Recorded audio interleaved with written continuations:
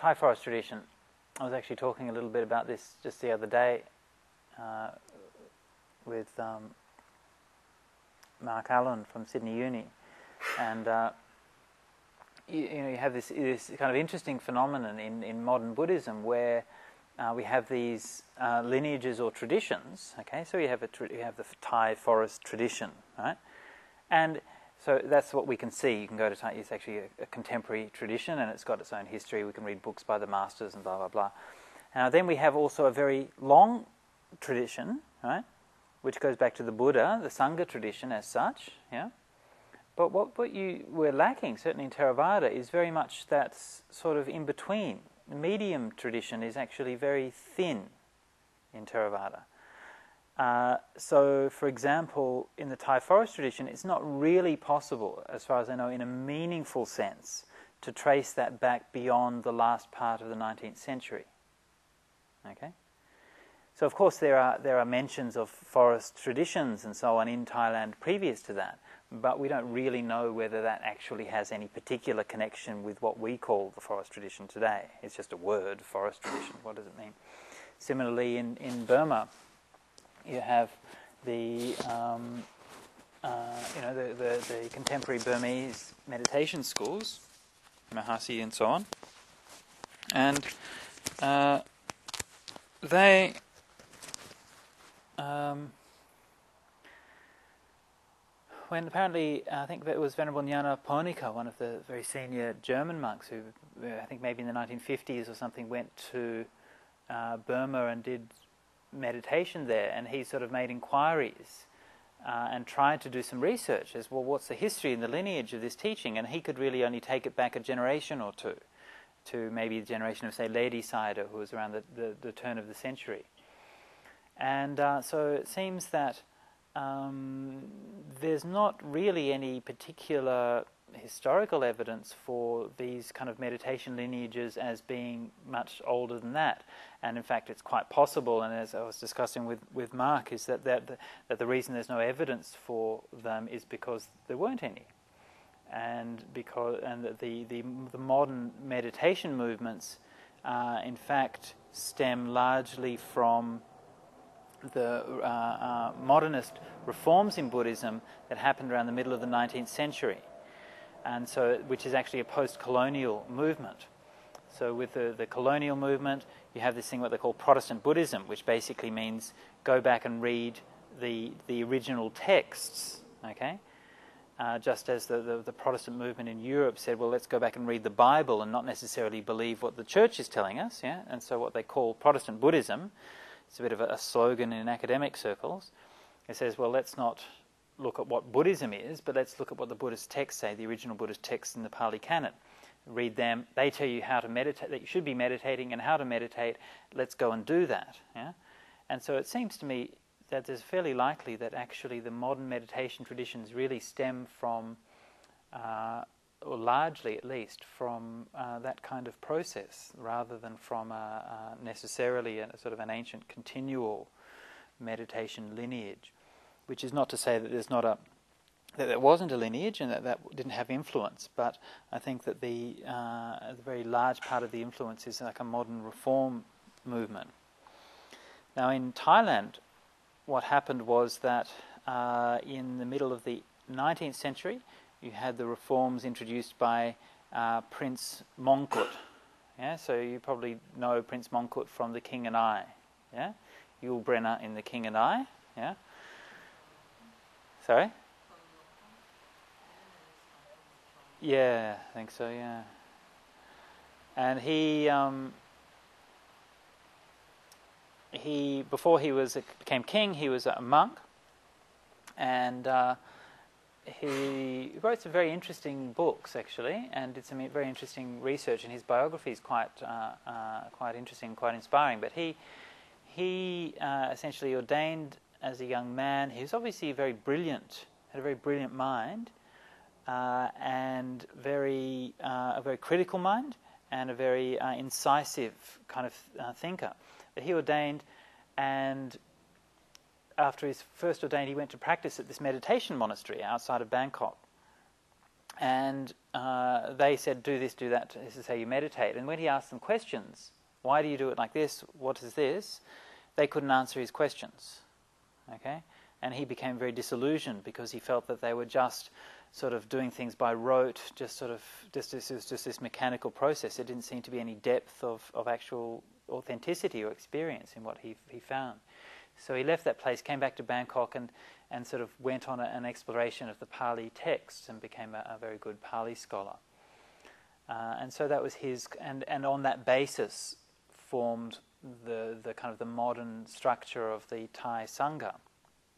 And then in the next generation after uh, him uh, came along a fellow called Ajahn Mun. Uh, Ajahn Mun uh, hailed from Ubon Ratchathani in the northeast of Thailand. He was born, I think, 1890 or something like that, or in the 1890s. And of course, in those days, the northeast Thailand region was very, very poor, uh, very backwards and undeveloped, uh, and yeah, still, still very primitive and simple villages in that area. If you're interested in, to look at the the um, a depiction of that region in those times, there's actually one of the most an interesting cultural artifact from that region is a film called Chang, Chang being the local word for elephant, and this black and white um, silent film made in the 1920s by the fellow who then went on to make the first King Kong. I don't remember his name, but the director of King Kong before that made a, a, movie called Chang, set in northeast Thailand, about the northeast Thailand villages. Yeah? And a similar kind of theme about the kind of the monster from the forest who was threatening the, uh, the fragile settlements and how they had to defend themselves against the threats from the jungle. So, uh, but that gives you an idea of how um, tenuous life was in those days. So Ajahn Mun um, had a friend whose name was Upali. Now, Upali, uh, uh, there's, there's various kinds of stories of their adventures when they were young and so on. Ajahn Mun was a uh, expert in what they call Morlam. Um, this is before he was Ajahn Mun, when he was just a, a kid. Mun, and Morlam. Morlam is the local form of um, folk music, and it's like a kind of um, it's a kind of it's a bit like a kind of an old blues thing or something, but it's it's it has a it's it has like a, a, a rhythmic kind of beat, and then improvised dialogue over the rhythm. And typically, the, the improvised dialogue would be a man and a woman. So you'd have this kind of whole backing and forthing thing going on, and they would use lots of poetry and plays with words and innuendos and all of these kinds of things. So it was very popular art form in those days, folk art form, and Ajahn Mun was very clever with that. He's very, very sharp mind and very good with words and uh, so on. So he used to, uh, it was one of the things he used to do. So he uh, ordained, and like um, men, most, most men uh, in Thailand in those days would take temporary ordination. Of course, uh, opportunities for ordination for women were uh, slender or non existent.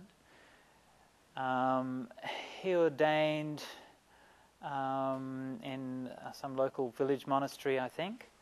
Uh, it's been a long time since I've brushed up on all the details of these things, but um, after he came in contact with uh, some meditation monks and became more interested in the meditation side of things, the meditation aspect, and wanted to travel around and do that. He switched after his after his ordination. He switched his ordination lineage to what they call the Dhammayut sect. So, uh, in Thailand, what was forming in those decades, or had probably had already formed, was an idea of having two separate nikayas, what they call the Mahanikaya and the Dhammayut. Dhammayut was the, the reform sect originated by Prince Mongkut, okay, based on a Burmese ordination lineage, right? and it was and remains a very small minority. About 5% of Thai monks are in the Dhammayut Nikaya. Uh, the Dhammayut Nikaya, you know, for those of us in Australia, what happened is that the Thai they sat down, the two sects sat down, and they apparently they car, they drew got a map of the world and, and appointed one or other of the sect to each country. In Australia, got Dhammayut, right? So the, the local Thai monks who you see in Sydney are Dhammayut monks. Okay, so they're from that reform sect. The Chao Khun Samai and the Annandale Temple and these places is from a Dhammayut. Uh, it's predominantly in Australia. Uh, the rest of Thailand, the rest of Thai Sangha is what they call Mahanikai. Now, Mahanikai really is not a, a, a, a, sect as such, but it's really just what's left over. And they didn't really have a sense of being a unified sect or, or, or, or grouping, except it formed in opposition or in contrast to the Dhammayut. Yeah? So that's about 90 or 95% of the monks in Thailand. So typically, uh, the idea was that the, the Mahanikai monks were slack. Okay, so we've just been reading the article just now about wearing lipstick and carrying handbags and these kinds of things. So that would be that's the Mahanikai kind of style, yeah. Not so hung up, you know, not so uptight about things, you know. A little bit of a wearing a handbag is not such a problem. Uh, bit of lipstick, never mind. So that's the kind of the the Mahanikai was much more uh, culturally based. They would do things like uh, kind of the rituals and ceremonies for the villages. They would do lots of kind of Brahmanical style rituals. They would do things like um, they would give, say, very colourful sermons in local dialects and so on. So that would be almost like uh, like I mentioned, Ajahn Mun was doing the Morlam folk style singing, so they would do stuff like that, and they would tell the ancient stories in a very dramatic style where they'd kind of imitate all the voices of the characters and these kinds of things. So they'd be like, almost like putting on plays for people. These kind of folk arts and traditions which were, which were carried out in the monasteries around Thailand. The Dhammayut sect was much more serious, right? And they're, they're Pali Canon, Four Noble Truths, keeping Vinaya, yeah? and it was all a bit more kind of serious and stern. It was also mixed up with the whole notion of the creation of Thailand as a nation state in, uh, in, in, in, in, the colonial era. Yeah? So ensuring the stability and coherence of the Thai nation state under threat from colonial powers. So the Dhammayut movement was a, trying to unify, a nationalist movement to try to unify Thailand. So typically what happened is that a lot of the, the monks in the forest tradition, including Ajahn Mun, Ajahn Chah, and many others, they would just ordain in their local village temple, which would usually be a Mahanikai temple. Then after a while they started to learn a bit, got a bit of knowledge, they realized they wanted to, to sharpen up their Vinaya practice, get a bit more serious about things, and so they wanted to convert to Dhammayut. So Ajahn Mun did that. And uh, I mentioned before his friend Upali, uh, uh, went also became a monk, but Upali uh, followed a different career course, and he ended up going to Bangkok and becoming uh, a very respected academic study monk in Bangkok. And he became Chao Khun Upali, who's a very well known and very respected figure from that era. But he retained his friendship with Ajahn Mun in that time. So, you know, so you have, almost have these kind of two career choices as the, the forest monk or the study monk. And there's these two friends who ended up doing that. But, but the, both of them as part of that Dhammayut movement, which was that kind of reform movement. Yeah? Now, despite the fact that Ajahn Mun joined this Dhammayut movement, he didn't. That doesn't mean that he uh, accepted or embraced everything which they stood for. On the contrary, one of the controversial or, or uh, questionable aspects of the Dhammayut when it was formed was that uh, it seems that a lot of the people, including perhaps Prince Mongkut himself, believed that Nibbana was unattainable in this present age. Right? That we live in a degenerate times and it's not possible to realize the various stages of enlightenment. Yeah? And this idea was very, very widespread. And part of the Dhammayut movement had been um, much more uh, focused on, well, we can't get enlightened, so let's uh, focus on encouraging people to do dana and keep their precepts and study the Dhamma. These are the things we can actually do, and, and really, you know, trying to meditate to get enlightened is a bit of a waste of time. Okay, and a lot of people believed this kind of thing and still do. So Ajahn Mun, when he ordained, had been told these kinds of things, and he didn't really know whether this was true or not. Okay, and this is one of the themes that comes out in his biography. And he, so he had to test that. So he joined the Dhammayut, and you know, the, the certain aspects of that were very supportive for him. The good Vinaya practice was supportive.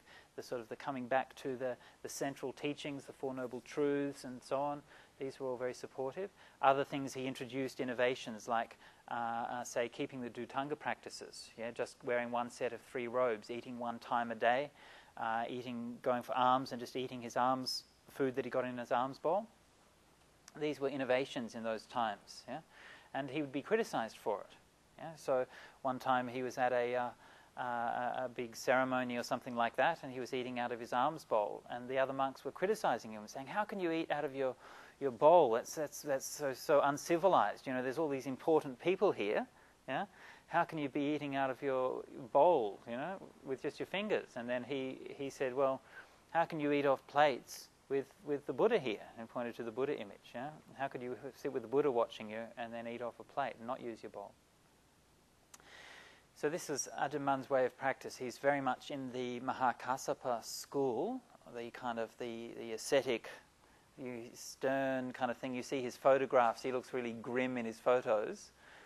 But that has to be taken also with a bit of a grain of salt because uh, at that time in Thailand, it's actually quite, no- you didn't smile in photographs, it wasn't the done thing. Uh, also, it was socially not yet really acceptable for monks to have their photos taken. It was a kind of a bit of a because it was a kind of a vanity thing. So apparently he didn't really like having his photo taken. He had to be forced to do it, so he was a bit grumpy. And you also see you also see that he that he uh, he's very skinny, yeah, in the photograph. And you think, wow, he's really emaciated, yeah. But uh, but that also, if you go to central to northeast Thailand, even today, you see you know the the, old guys there, they're all like that. You know, it's just the diet is just not very good. They smoke. Mun, I think, smoked, and uh, probably chewed betel nut, and uh, had one meal a day. So yeah, he looks pretty skinny, but he's it's not it's not as uh, drastic as it might appear.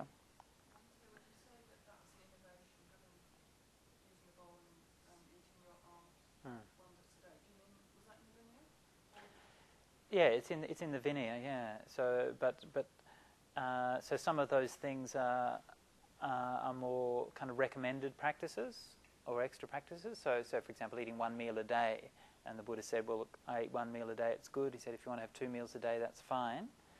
Uh, so, but it's more like an optional extra to do the one meal a day thing. Yeah. No, it's allowed to smoke in the Vinaya. Yeah. Yeah. Yeah, Are you're allowed to smoke, but the question is there wasn't any tobacco in the time of the Buddha. So then people are asking, well, what were they smoking? Yeah, and and did it and did it help their meditation? Yeah. yeah, there is a thing. It's a, it's actually it's actually it's actually it's actually part of Ayurvedic medicine that that um, certain certain herbs are smoked. Yeah. And also remember that 100 years ago and so on, they didn't, they didn't know that there was a health risk with smoking and things like that. It was just kind of something that people did.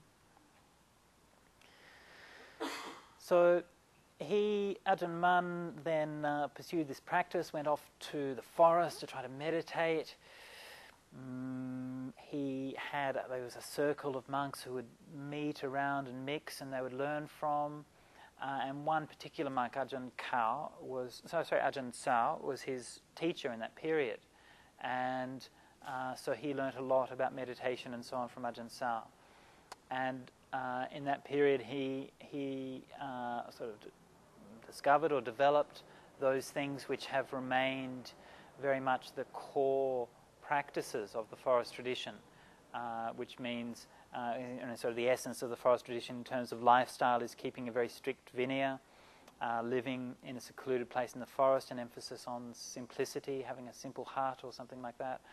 The wandering lifestyle that they call tudong, wandering from village to village. These days it's much more difficult to do because of the pace of development. You can't really wander around so much. In those days it would be wandering along a jungle track from one village to the next. These days it's walking along a highway in the sweltering sun with trucks thundering past you, so it's not so uh, conducive.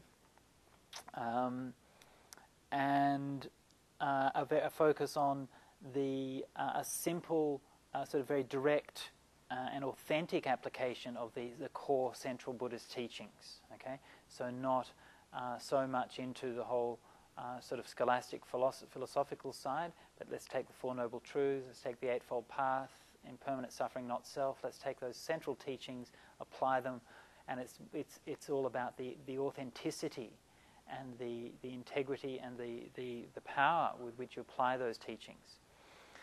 Um, which is the important thing, and the central, which is not to say that uh, Ajahn Mun and and so on weren't kind of learned, and I, have I've heard that I'm not sure how true it is, but I heard that Ajahn Mun used to carry around a copy of the Abhidhammattha Sangaha on his tudong, which is a, a, an 11th century Burmese uh, compendium of the Abhidhamma.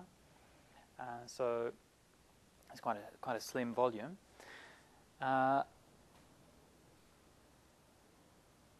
they certainly were critical of, uh, Ajahn was critical of approaches to Dhamma that was like purely scholastic and which, which, which sort of uh, didn't believe in the experiential side. But remember that um, the context that he'd come from, where people literally didn't believe.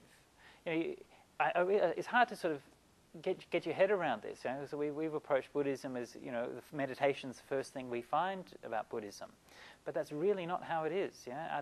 I've heard Ajahn Mahabua, one of Ajahn Mun's students, talking in his Dhamma talk, and he spent three years in Bangkok, studying in Bangkok, uh, before he went to the forest to find Ajahn Mun. And while he was practicing there, he used to, he used to study with the other monks and then go off and do his meditation. And the other monks would laugh at him. Yeah, they'd make fun of him. Yeah, oh boy, you're going to go off and get go. Tell us, you're going to go to nibbana, are you? are going to go to heaven? Oh, well, tell us what it's like when you get to nibbana. Will you come back and let us know? And so they were they were they were having jokes at him and laughing at him because he was diligent in his practice. You know, that's how alienated yeah, much of the Sangha has become from the actual practice of meditation. And that remains the same today. So, uh, Ajahn uh, sorry, Ajahn Mun, uh, and then developed these the central meditation practices of the, the forest tradition. One is the, the recollection of the word Buddho, yeah? So they use Buddho as a mantra, either just using it as a, as a meditation word by itself or else connecting it with the breath. So Buddho, Buddho with the breath, or doing it while walking meditation. So that was one uh, particular meditation. Second one was uh, body investigation, so uh, in looking at the parts of the body, looking at the elements. Thai forest tradition is very much a, a body-based meditation system. A very strong emphasis on mindfulness of the body. There very cemetery contemplations. They very often would go to the cemeteries and be with decaying bodies, um, or uh, just uh, investigating the images of their uh, their own body and so on in, in various ways. That's a very strong part uh, contemplation, uh, breath meditation of anapanasati, another very strong part of the Thai forest tradition. And they also emphasize a lot on walking meditation. And uh, some of the, the Thai forest masters will, will do mostly walking meditation uh, and, and, and fairly short amount of time sitting. Yeah? Uh, and of course, this is in addition to, the, to the, the, the, wandering that they would do. So very often you're walking for many, many hours every day. Uh, so that's a very strong emphasis. Uh, so these are the kinds of meditations which Ajahn Mun was developing. Now, he had as a guide and a friend this other monk Ajahn Sao during this period, and uh, uh, but there, there came a point where he actually surpassed his teacher, and there came a point where he had a, a, a nimitta or an experience in, in his meditation where he actually um, uh, he, he, came up against a wall in his progress. He, he, his meditation become very deep, very profound, but he couldn't develop any further. And then he uh, realized or understood that he had made a bodhisattva vow in his past life, that he had made a vow to become a Buddha, and that because of that, that he couldn't realize enlightenment in this lifetime. This was an obstruction for him. So he renounced his bodhisattva vow. Yeah? He was so determined to, to realize full enlightenment in this very life. That he renounced this vow which he'd made in past lives, which was obstructing his progress. So, this is also interesting. Uh,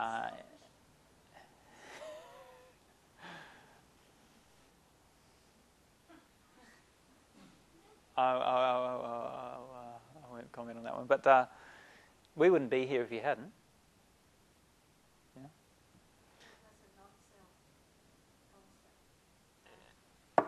Yeah, I mean, there's there's many there's different ways of looking at that and different ways of interpreting it. Yeah.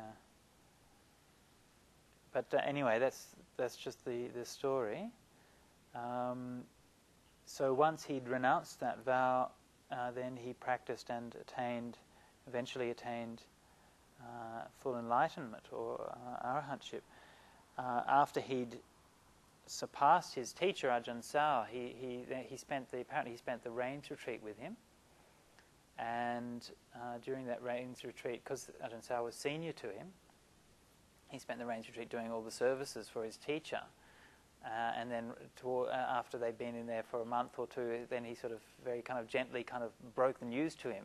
Oh, by the way, this is where I've got.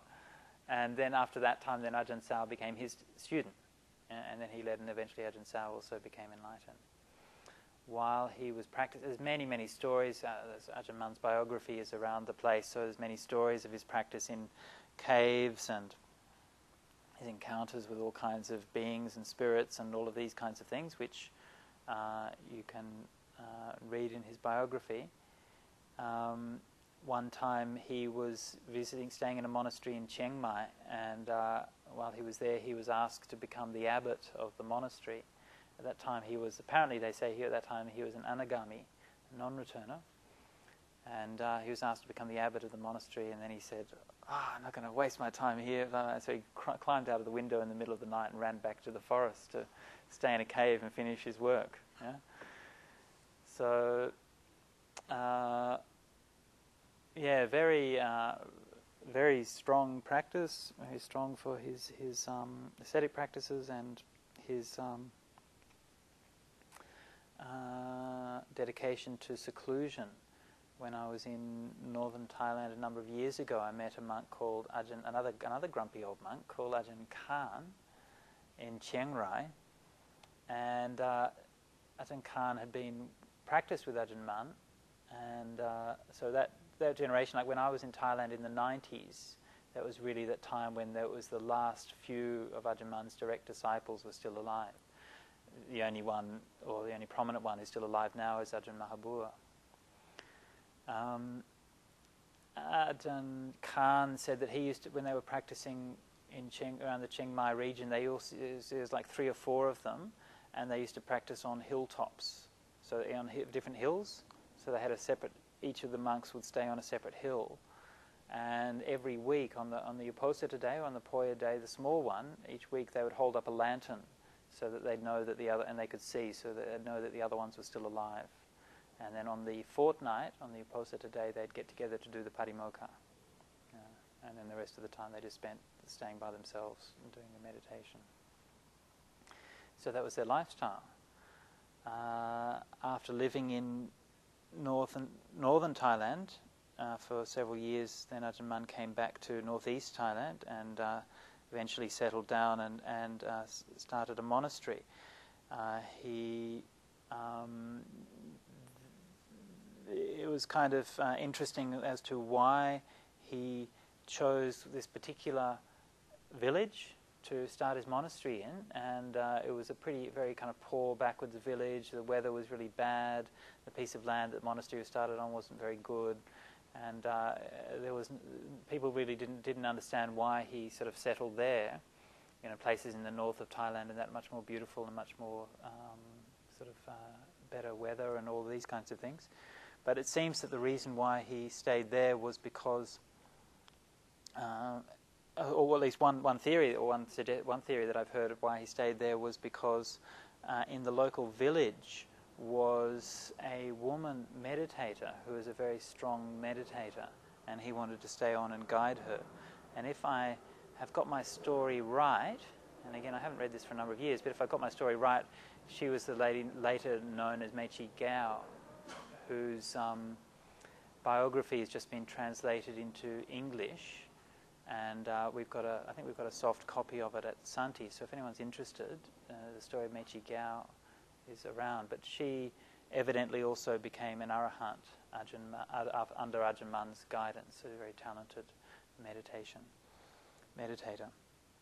So uh, he stayed there at that time, uh, had got a very strong circle of uh, disciples, and that time, of course, the forest tradition was still very small, um, and uh, uh, very much kind of marginal in Thai Buddhism, but uh, Ajahn Mahabua, uh, sorry, Ajahn Mun had a had a, like a knack of, of sort of gathering to him a small but extremely uh, sort of talented group of meditators, many of whom went on to become great meditation masters in their own right. Uh, uh and am- among them were uh, Ajahn uh, Kao, Ajahn Mahabua, Ajahn Bua is another one, uh, Lumpu Tet, and and quite a few others. So, probably the, the, the, best known of his disciples from that period was Ajahn Mahabua, who spent about a number of years, maybe five years or more, with Ajahn Mun, uh, and uh, has been his main interpreter. So, the, the Ajahn Mun that we see is largely Ajahn Mun through Maha, Ajahn Mahabua's eyes, and so that's important to remember in his biography. Um, other people have see a different side of him, and even though Ajahn Mun has this reputation for being very tough and so on, but Ajahn Mahabua has got some very delightful stories of, say, a time when he was doing this ascetic practice where he would only accept the alms that, that was given to him in the village.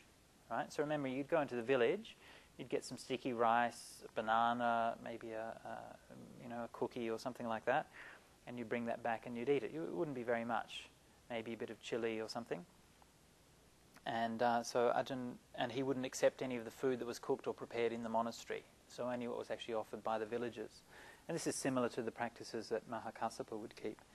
So uh, no one would no one would actually allow to put any food in his bowl, yeah? except he said that that uh, Ajahn, Man, Ajahn Mun would would always find some way of uh, distracting him, uh, and and pulling away his attention, and then sneaking something into his bowl while he wasn't looking. Yeah. So he used to always kind of do this to do that. So this is like another side to Ajahn Mun that, that uh, you know, I don't think he was so stern and fierce all the time. Uh,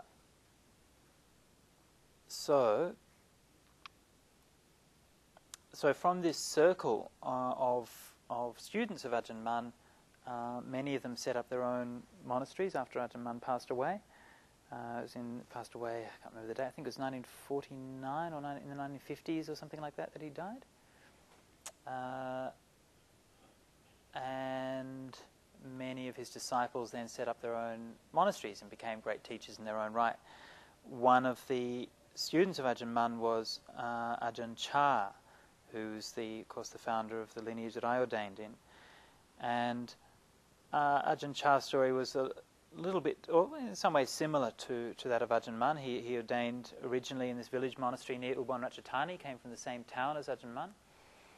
After a few years, uh, became interested in the, the forest lifestyle and the meditation lifestyle. He left that village, travelled around, stayed with different teachers, and learnt a little bit from each teacher, although he didn't have like one main teacher who he studied and practiced with. Uh, Ajahn Chah went and stayed with Ajahn Mahabua and there was one well known occasion where he stayed for just a few days uh, when he was quite a young monk. And he always said that even though uh, he only spent a very short time with Ajahn Mun, that, uh, that the, the, that was a really crucial time for him, that he answered some questions which were very, critical for his meditation practice. One of the things that he asked him, because Ajahn Chah ordained in the Mahanikai tradition, one of the things he asked him is, you know, should I, I'd like to reordain as a Dhammayut monk. And Ajahn Mun said, no, there's no need. Yeah? You stay in Mahanikai. Mahanikai needs good monks as well. So this was kind of interesting because there, it is a political thing between the Dhammayut and the Mahanikai. uh, as to which has power and influence and so on. And normally, if, if you was a Dhammayut teacher and there was obviously a very talented student who wants to come along and ordain, normally they'd be, oh, great, you know, it's terrific, come with us. Yeah? Uh, and so this is, uh, see, sometimes there's, there's sometimes the Dhammayut goes so far as to, to suggest that the Mahanikai monks are not actually monks, right? So they say that the, the standards of Vinaya and the tradition were so bad that there's no authentic ordination lineage in the rest of Thailand. So, that, so this is sometimes suggested that actually only the Dhammayut bhikkhus are actually ordained, the rest of us are novices. Yeah? And this is, this is taken quite seriously. If, if, if I go and stay in Dhammayut monasteries, they won't let you in to recite the Patimokkha together, for example. Um, so this, is, this kind of shows that Ajahn Mun had a very different attitude towards this question. So some of the, I think at least two of the questions that Ajahn Chah asked Ajahn Mun about, one was about Vinaya practice. And he said that he'd been, because he'd been studying Vinaya very carefully, Ajahn Chah did a lot of very, very deep, very detailed study of Vinaya and was very sincere about trying to practice everything as best he could. And he, he, he, and he said, you know, basically he said to Ajahn Mun, I can't remember exactly what it was, but he said basically it's just, it's just a headache, you know, you're trying to study, do all of these things and and you can never be sure of you know you've got everything right and and, and so on and so forth and and so Ajahn Mun uh, emphasized to him that uh, uh, at the base of it lies your intention yeah? and so we, we try to do the best we can in our study in our practice uh, but uh, it's the intention underlying it which is the decisive factor in the end not whether you've necessarily got every detail right so if this is getting a bit noisy, then you can come up closer if you want, if you can't hear.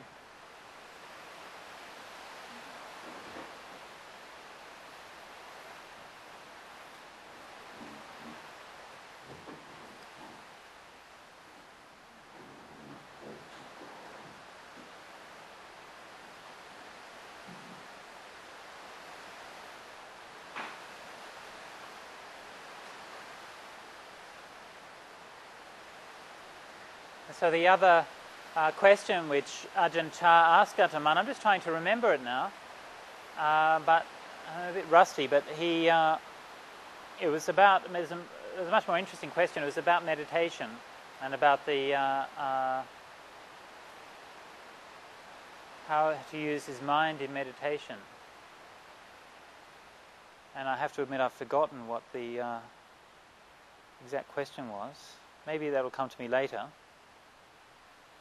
any case, so this was this encounter between Ajahn Mun and Ajahn Chah. Uh,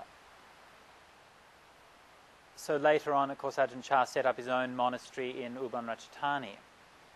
So when he set up his monastery, just as Ajahn Mun had reformed, had taken on some aspects of the Dhammayut tradition and had criticized some and reformed some, uh, similarly, Ajahn Chah took up the, the Dhammayut forest tradition that he'd had experience with and reformed and changed certain things. The main thing that Ajahn Chah changed was he um, moved the emphasis back from the teacher, uh, from the guru, to the, to the Sangha, to the community. Yeah? Now, in the, in the Dhammayut circles, we had evolved a very, very uh, kind of teacher-centric system or guru-centric system. So you had the very charismatic teachers like Ajahn Mun, Ajahn Mahabua, Ajahn Kao, and so on. And they would, a group of disciples would come around them, practice, and uh, usually when the teacher died, everything would fall apart. Yeah? And this is kind of pattern, and this has happened in just about every monastery. The teacher died, everything fell apart and things were too too dependent on the teacher. I mean, the the advantage of that.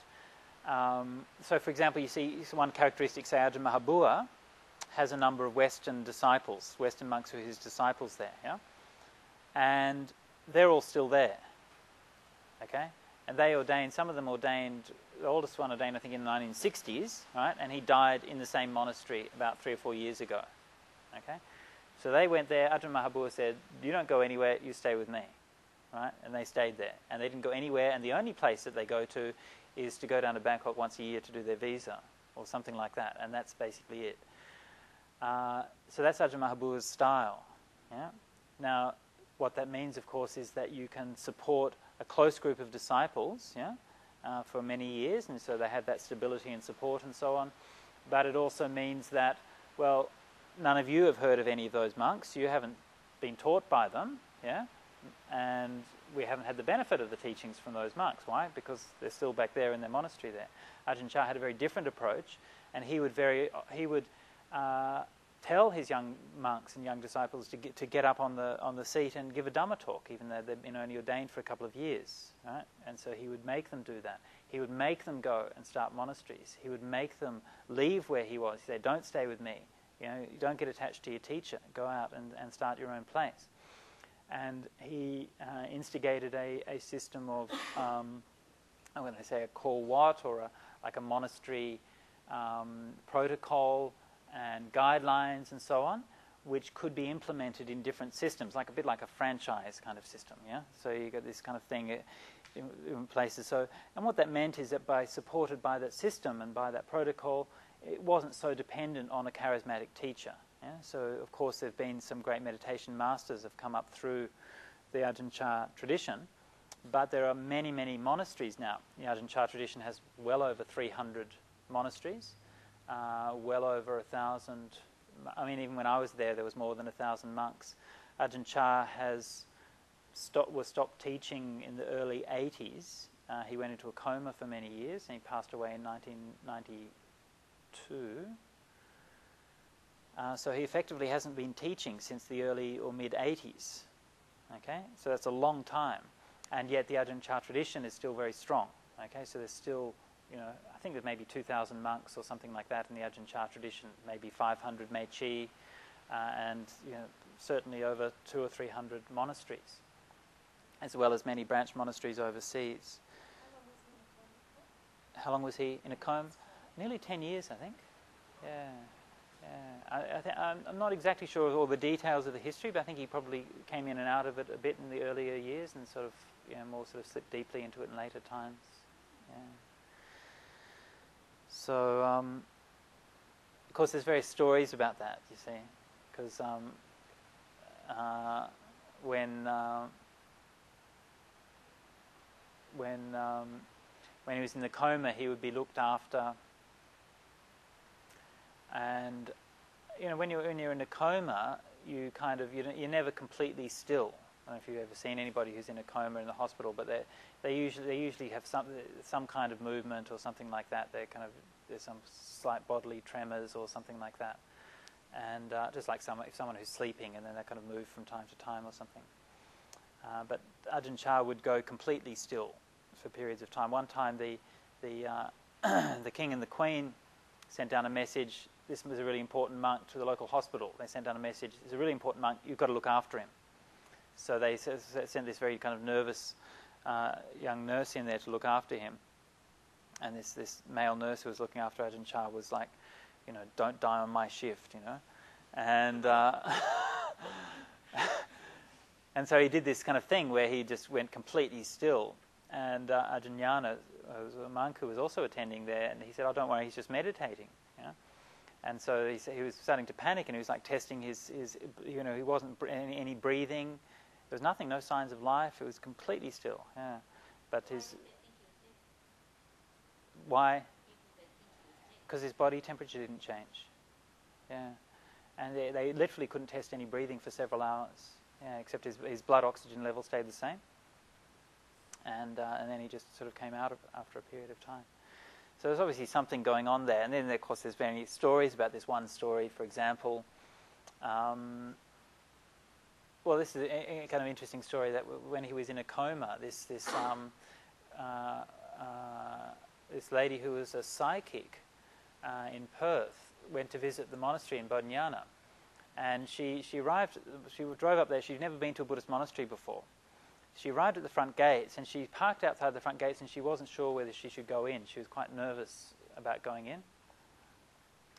And uh, this monk came to her and said, "Oh, you know," and just, and just sort of waved her in and said, "Go, go, go inside." This Thai monk. So she went inside the monastery and she went up and she where it was where Ajahn Brahm and Ajahn Jagaro was, and, and she said, "Oh, uh, where's where's where's that nice monk who showed me in?" She could see all the monks sitting there. Where's that nice monk who showed me into the monastery? They said, which monk? They say, she said, oh, it's, it's like this Thai monk or something. They said, no, we don't have any Thai monks staying here. And she saw a photo of Ajahn Chah on the shrine. She said, that's him. He was the one. He was the one who showed me in. Yeah? So he's still hanging around. And she said that, oh yeah, he's he he he. he sta- and the interesting thing was, she, she said he stays. He has a kuti over there, and she pointed to a part of the forest. And she said he stays over there in this little hut. Yeah. I don't know why he's staying in a little hut, but anyway, she said he stays in a little hut over there. But the interesting thing, which is just behind where the women's section now is, that was subsequently built there. And uh, sometime later, uh, a Thai monk who didn't know anything about this story visited, and he had also very good psychic powers, and he said the same thing. He said Ajahn Chah's got a little kuti over in the forest and pointed to the same place and said this is where he comes and stays just to look after everyone, make sure they're all okay. Yeah? So anyway, I'm just telling you the stories. So this is the... Sorry? It's not claimed that he became an arahant, is it? He was in, he's still in a coma then, he wasn't dead. Yeah? Uh, it can. Oh yeah, he's obviously, yeah, he, most people say he was an arahant, yeah. yeah. Also, when these things happened, he was not dead yet. He was not dead yet, he was in a coma. Yeah.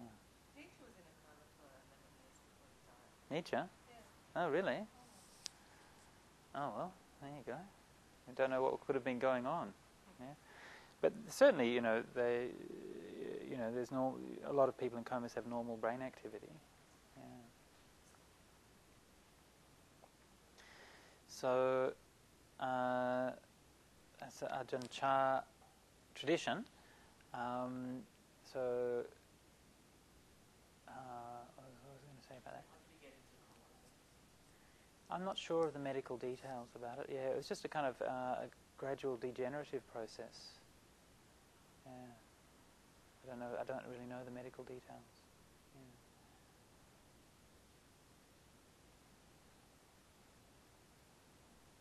So, uh, Thai forest tradition.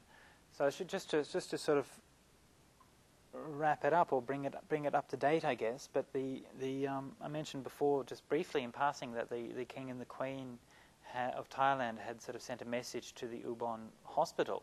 Now that's very characteristic of the, what had happened to to the forest tradition during the 1960s uh, and 70s.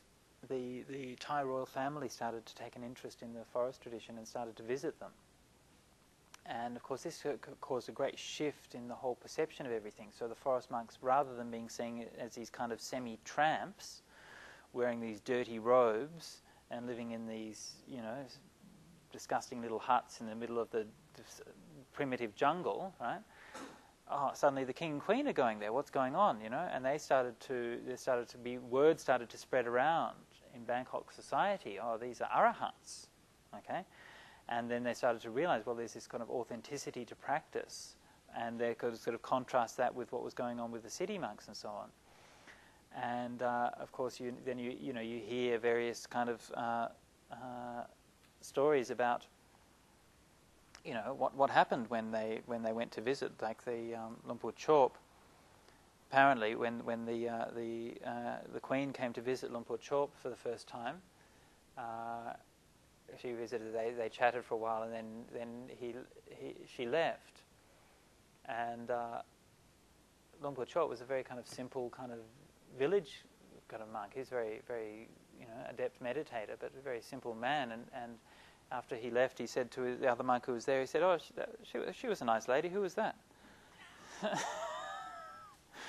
said, I said, but that was that was Her Royal Majesty, because in Thai they've got these incredibly highfalutin words for all the royal family. You see, so that was her, her that was Her Royal Majesty. He's like, what?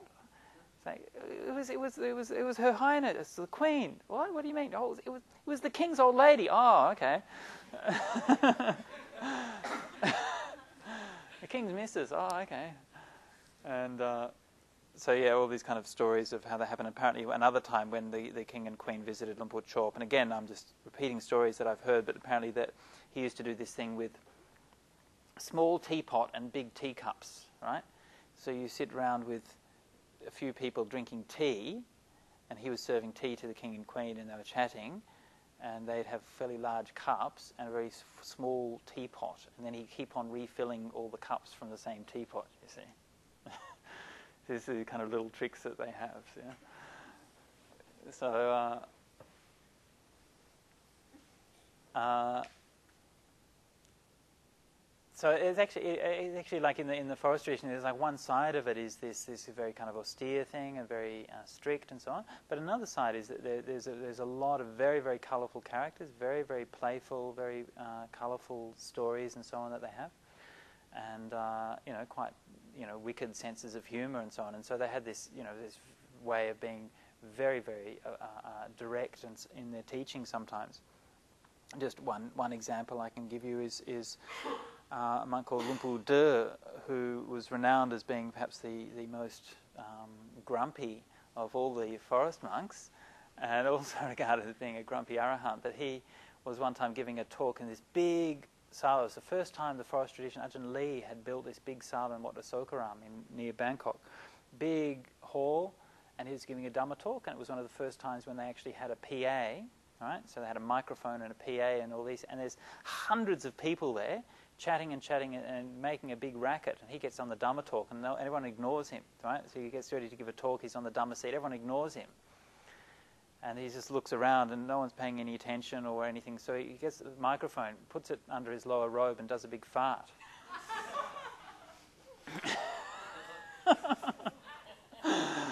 and there's this deathly silence through the whole place, yeah? Everything just stops. He says, Yeah, that's right. You listen to a monk fart, but you won't listen to him talk about Dhamma. That's it. And then he gets off, and it's, it's his Dhamma talk. Yeah.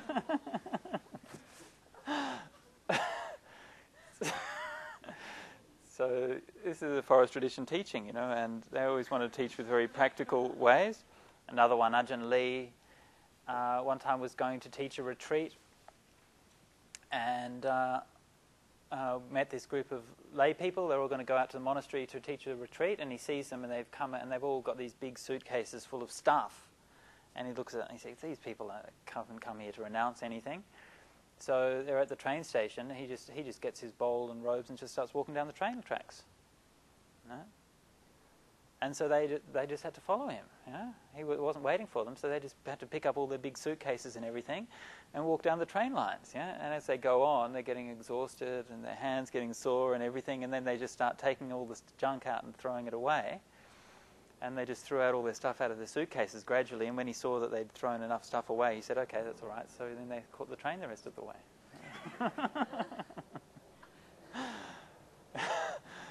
so again, this is a forest tradition style.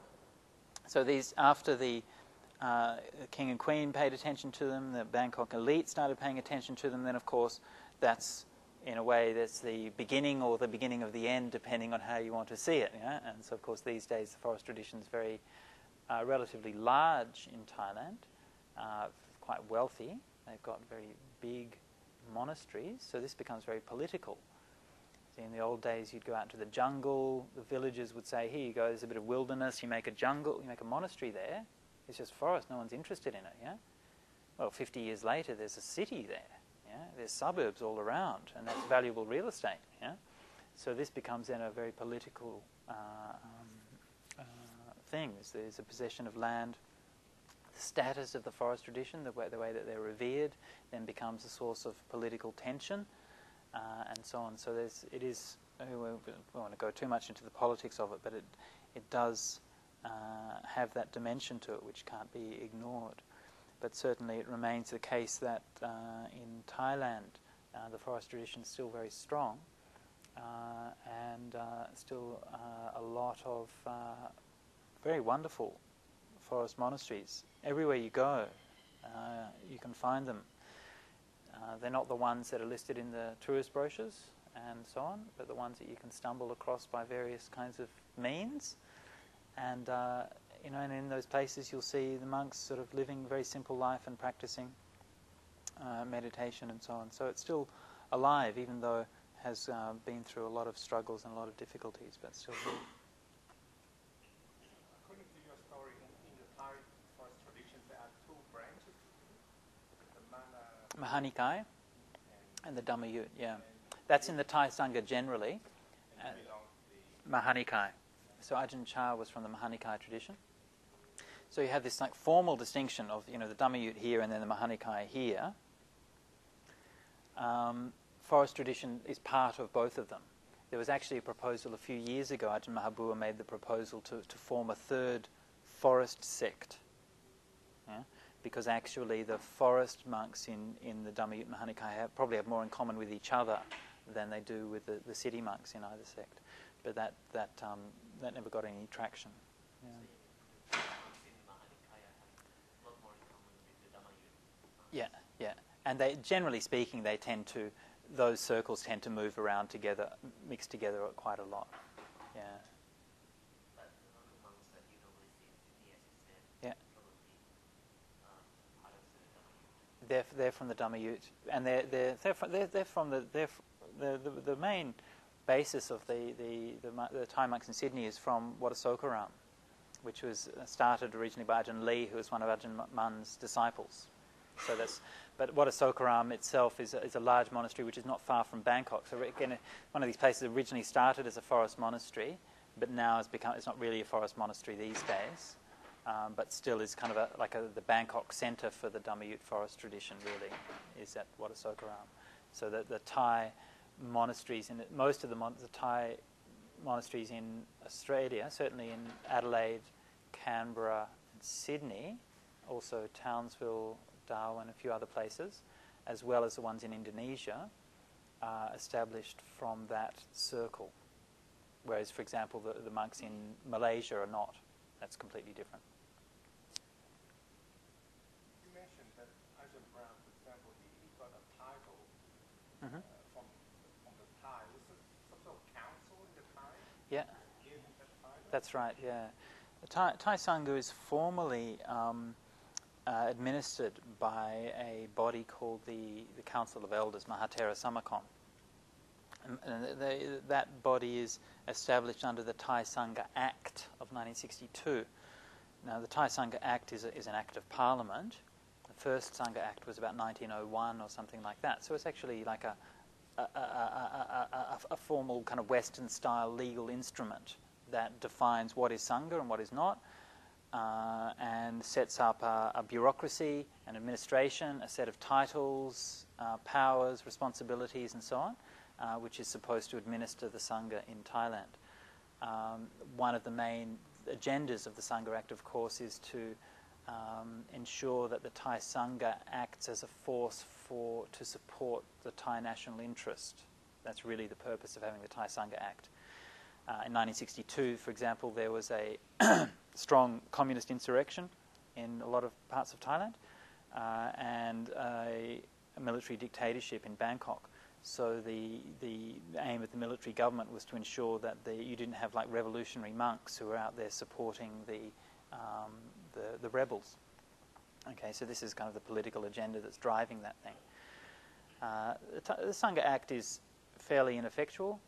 Um, doesn't really do much. The Mahathera Samakom, the Council of Elders, most of them are pretty derelict. They're kind of they they they're in hospital a lot of the time. They, they barely functions as a as an operative body. Um, uh, so the administration is sort of handled more by the kind of mid-level administrative monks. Uh, and so this is one of the problems: is that even though the, the, the, the social conditions under which the Thai Sangha Act was set up have changed dramatically. I mean, Thailand is not a military dictatorship anymore, or at least it's not this week. I don't know about next week, but uh, and the social conditions have changed a lot. But the Thai Sangha structure hasn't uh, followed that uh, because uh, just the attempts. It's the, many attempts at reform, but none of them have worked. They, they haven't been able to find the unity and the leadership to be able to follow it through. Yeah.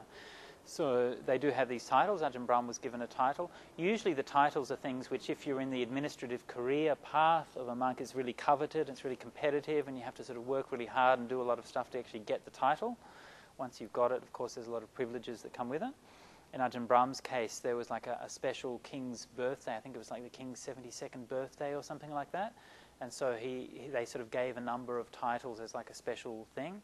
And Ajahn Brahm was recommended by his preceptor, Somdet Bhuttajan, Uh, so he, so even though he's not sort of formally part of the administrative structure or anything, but he was just sort of given the title as a special, um, uh, like recognition of his, his work in, in establishing Buddhism overseas. Ajahn Sumedho. Ajahn Sumedho is also a Chao Khun, yeah. He's also disciple of Ajahn Chah. Yeah, yeah. And, um, how about like in the Japanese tradition, Mahasi Sayadaw, for example, Mhm. is there a, a connection between them and Forest tradition? Not, formally, no. no. They did meet actually. Ajahn Chah and, Ajahn, and Mahasi met in, in England one time. Um, no, that, but it's it's it's there's a, there's a similar. Um, I think there's a similar. Uh, you know, origin, as I was saying, talking about the origins of the tradition, that, that it sort of came out of a kind of a modernist reform, yeah, rejecting the kind of traditional idea that you can't get enlightenment, uh, and coming back to an emphasis on meditation and specifically on on uh, the actual meditations that are taught in the Pali Canon. Remembering that a lot of what would have gone under the name of meditation in those countries, and which still does, but would would have been not something we would recognize particularly as meditation. It would be more like kind of mystical incantations, magical formulas, okay, attempts to get various kinds of psychic powers, ability to prophesize the future, all of these kinds of things. Yeah, so they, those kind of more kind of shamanic, magical things would be going on a lot. And the forest tradition was closely associated with that. Yeah, so the forest monks before Ajahn Mun's day was more like these kind of wild men of the woods. Yeah, doing these kind of slightly kind of edgy, shamanic kind of stuff, yeah, maybe a bit of black magic thrown in the mix, you know, a bit like you know, a bit not, not unlike the kind of the, the rishis and sadhus you get sometimes in India, yeah, uh, and so it was Ajahn Mun's tradition that we established that as a uh, on a Vinaya basis, yeah.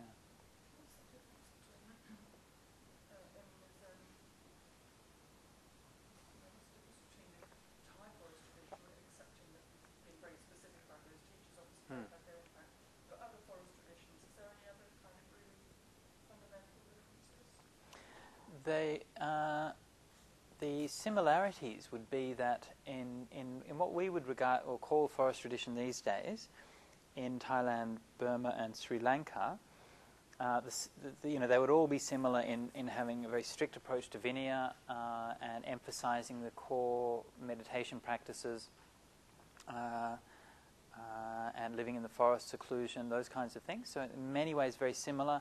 And typically, uh, certainly as far as the Western monks are concerned, there's a lot of movement to and fro. So, you know, a lot of monks who I know are staying in Na Uyana or other forest monasteries in Sri Lanka, or would go to Pa'auk and stay in the forest monasteries in, in Myanmar. Uh, so that's, and, you know, that happens all the time. Perhaps the main difference would be that the Sri Lankan and Burmese uh, forest traditions, uh, especially the Burmese and to a large degree the Sri Lankan, uh, have more uh, investment in the, the a kind of a, a strict Theravadan doctrinal orthodoxy. Yeah? Now that's not important to the Thai forest tradition at all. So, in but certainly in the Burmese and Pa'auk tradition, everything has to be right down the line according to the Pali commentaries and sub-commentaries, and he's very, very uh, learned in those things and follows every every detail of that. Sri Lankan forest tradition, uh, depending on where you are, some monasteries are very much like that. Others are a bit more i- uh, independent thinking. But in the Thai forest tradition, uh, it's Thai culture is very non-dogmatic culture, um, and they are very comfortable to reject things that are found in the commentaries, or even to reject things that are found in the suttas. Ajahn Mahabua is quite happy to say, "Oh no, this sutta must be wrong because I know from my experience." Yeah? Uh, and uh, so that they have there's various teachings which they have in the Thai forest tradition. The most famous one being they talk about the, the, the original mind. Okay, so Ajahn Mahabua, Ajahn Mahabua talks about the original mind. It's not a concept you find in the Pali Canon, and so from a position of Theravadan orthodoxy, it's very questionable. Uh, but yeah, so there are things like that which you, know, you do find in the in the Thai tradition.